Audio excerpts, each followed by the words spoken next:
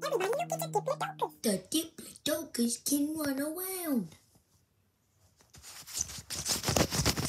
The Diplodocus eats food.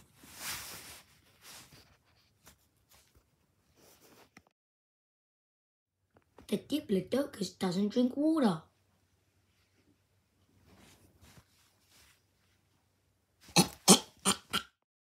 In remembrance of the Diplodocus.